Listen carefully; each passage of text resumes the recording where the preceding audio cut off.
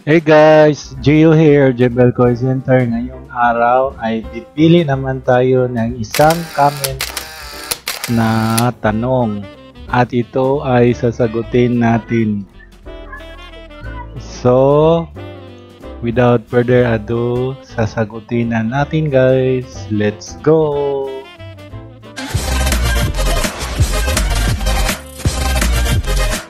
Huwag kalimutan mag-subscribe at i-hit ang bell notification natin na updated kayo sa ating bagong videos.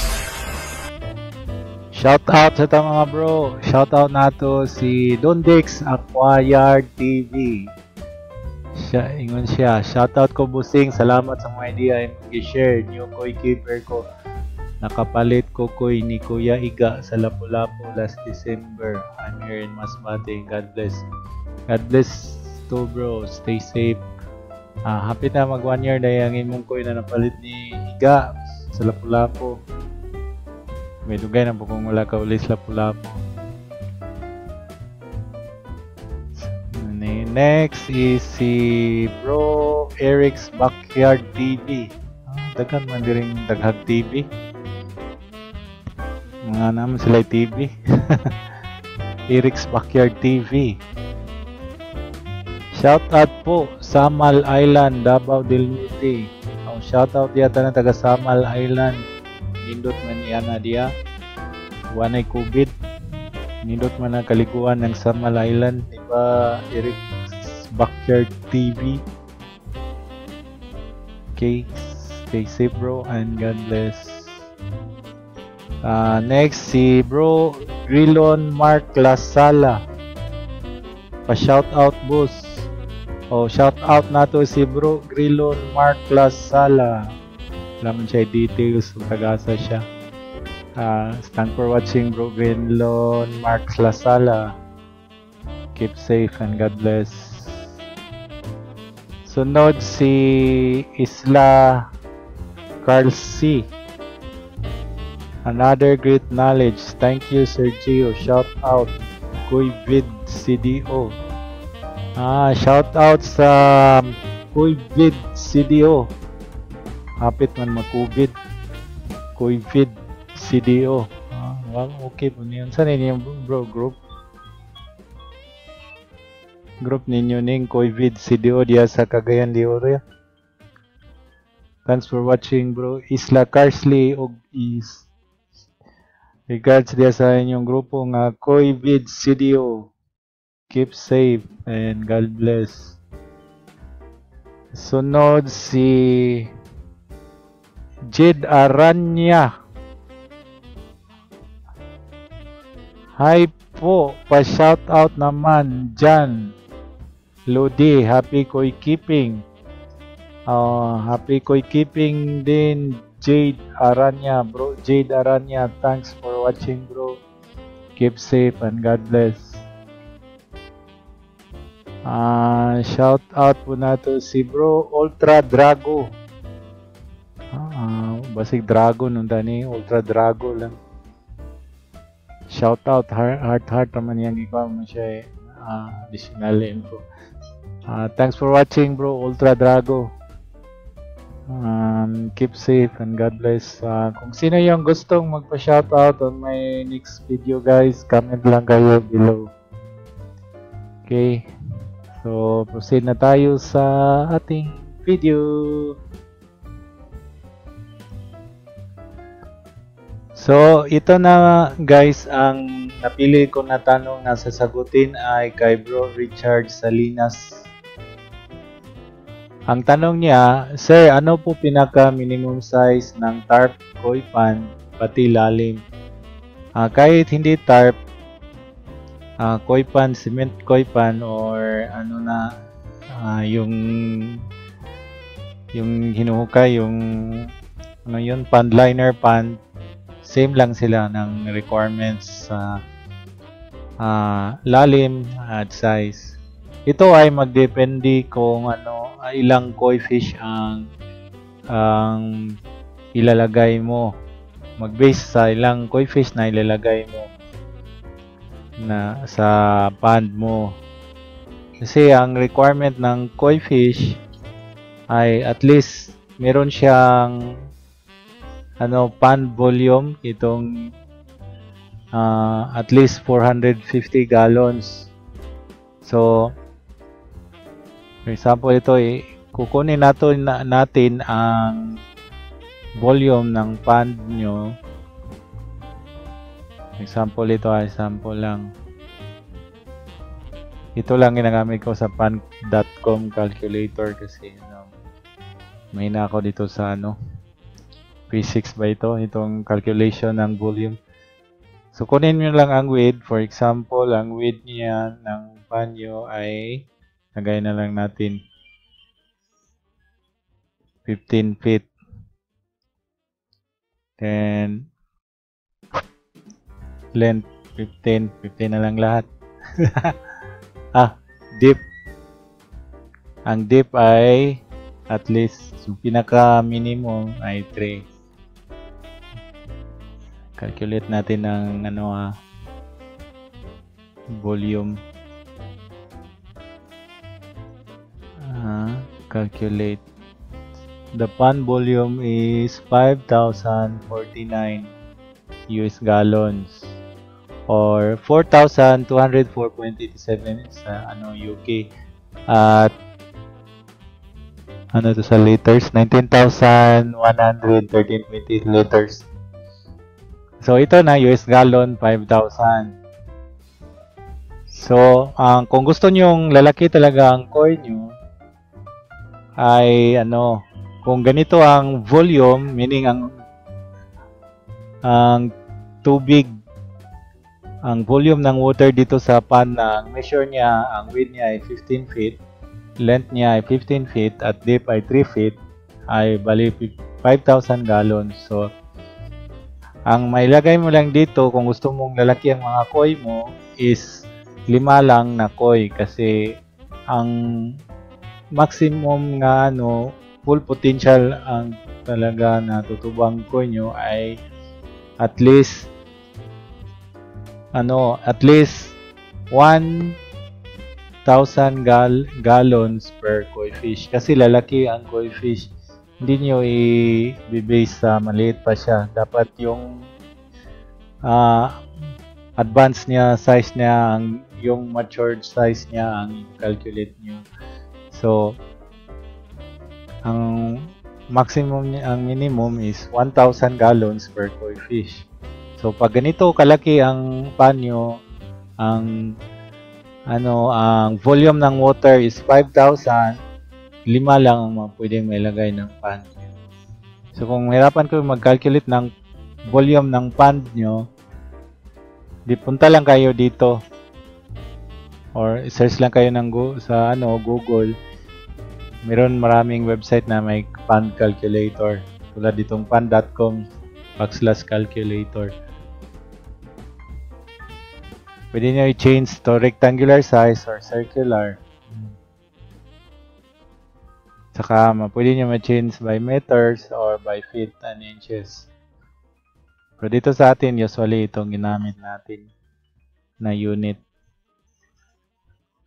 So, yan ang, ang sagot sa nung minimum pan size kahit tarpaulin or liner ba yan, pan liner ba yan, or cement pan ba yan, the same lang siya ng requirements. Ang pinaka minimum is 3 feet. Pero uh, kailangan na malaman niyo ang volume para malaman niyo kung ilan lang na coefficient ang pwedeng ilagay niyo.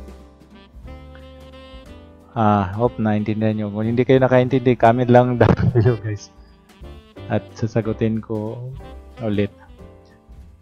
Para sa koi fry, yung para sa koi fry, ang koi fry ay ano lang temporary lang sila sa ano sa lalagyan sa breeding tank nila. So okay lang for me at at least 4 by 4 meter na breeding tank okay na 'yon.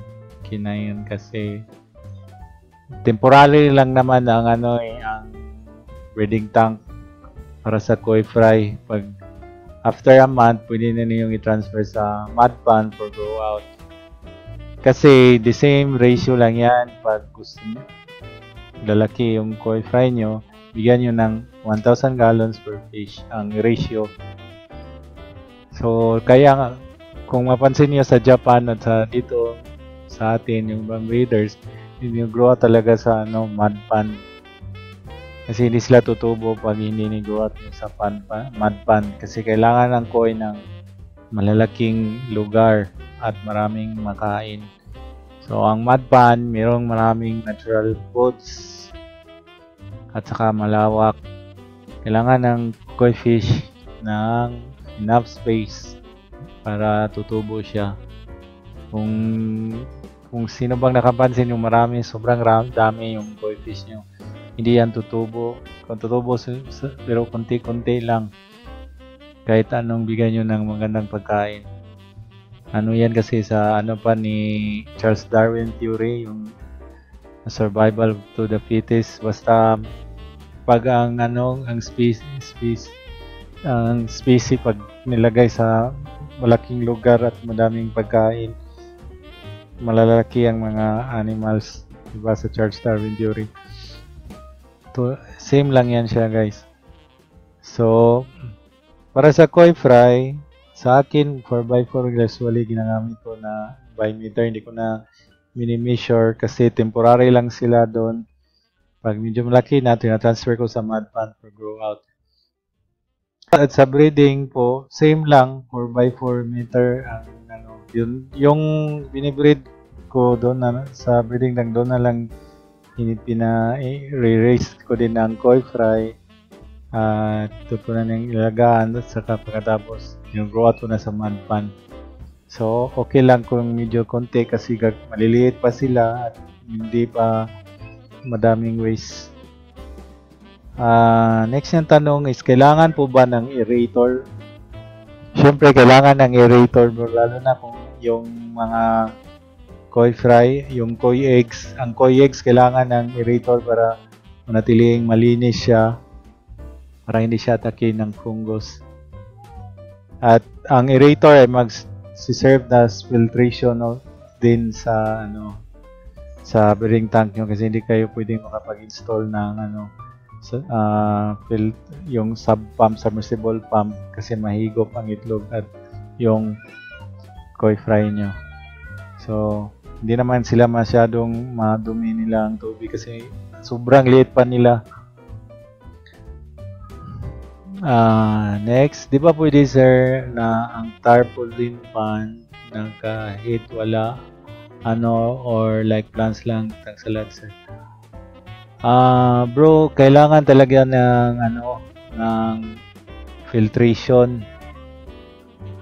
at aeration kasi ano yung dumi ng koi kung hindi yun matatanggal mag-accumulate siya ano ma ano yan makapag-introduce ng mga disease causing bacteria at maka ma-deteriorate din ang quality ng water, tataas ang ammonia at toxic yun sa koi fish at sila ay mamamatay.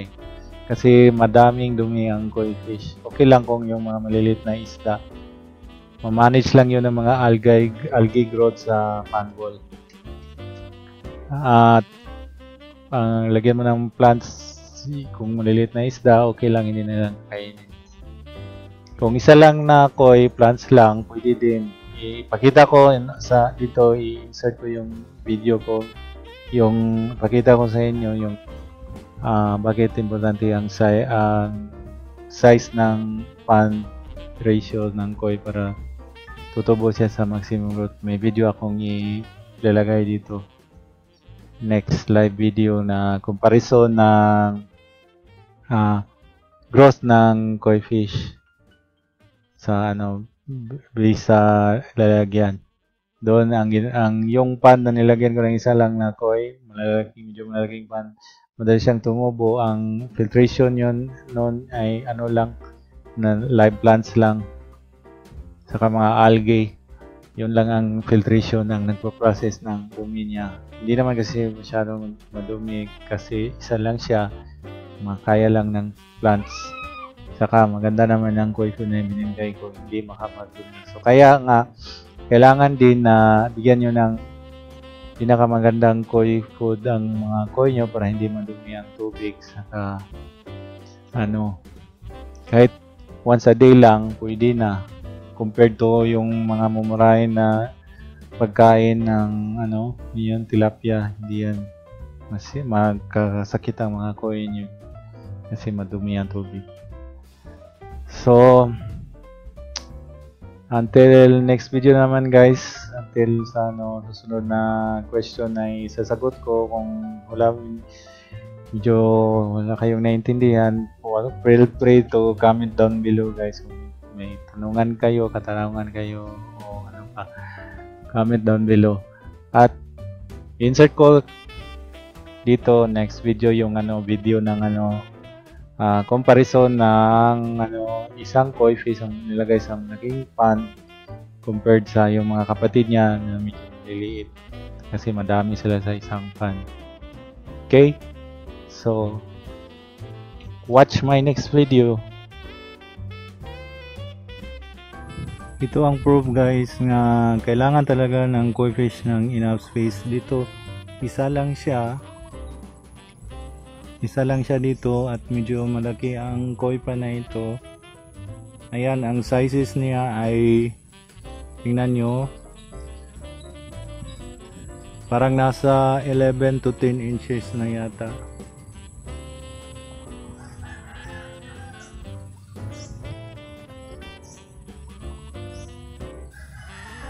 ayan. Kasi siya lang mag isa dito. Ayan kung makita nyo. Siya lang ang mag, mag-isa. Kahit walang ano erosion at filtration uh, natural. Filtration at erosion lang kasi malaki ang space. Um, ma, ang natural erosion niya ay maka malaki ang space yung mga algae at live plants ang nagpo-produce ng dissolved oxygen at saka yung wind na pa sa ay nahalo sa tubig naturally. So ayan, mas malaki siya sa mga kapatid niya. Yung mga kapatid niya dito, madami sila. Ang sizes ay nasa ano lang half uh, hindi nga naka ano abot ng half. Ito mga kapatid niya nasa 4 to 5 inches lang kasi madami sila dito. ang mga kapatid nila niya ito dito ito lumabas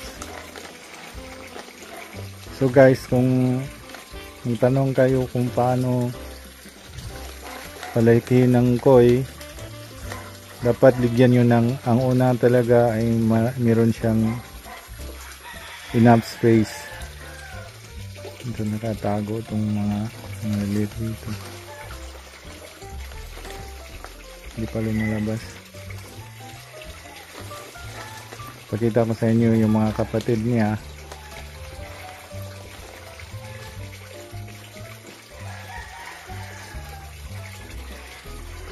Punta na tayo doon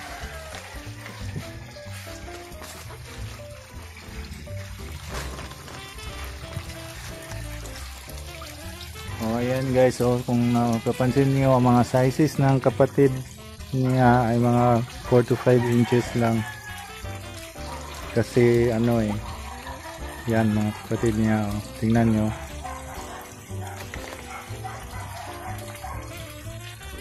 so ang, kung nagtanong kayo kung anong requirement ng size i-measure nyo ang volume ng water uh, per koi fish kailangan ng ano at least 450 gallons uh, volume of water para tutubo siya ng potential.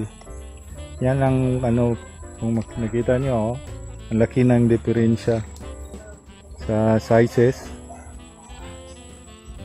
Yan oh, parang ano na yata yan? Nasa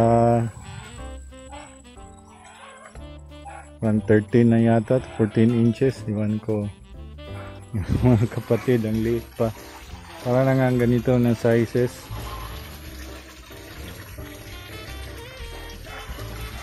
yan ang mga kapatid niya So, ang tamang lugar lang guys, importante yan para madaling tumubo yung isda nyo. Pagkain, yan yun ang yan, pinakamahal na pagkain na ma, ano, ma-afford nyo. At least itong koi king pwede na itong growth. Para hindi masira agad ang ano, kahit once a day lang feeding, hindi ma dumi yung water nyo, water quality nyo. So, uh, una guys, space, pagkain, ah, proper filtration at aeration. Tamang pag-alaga talaga. Okay.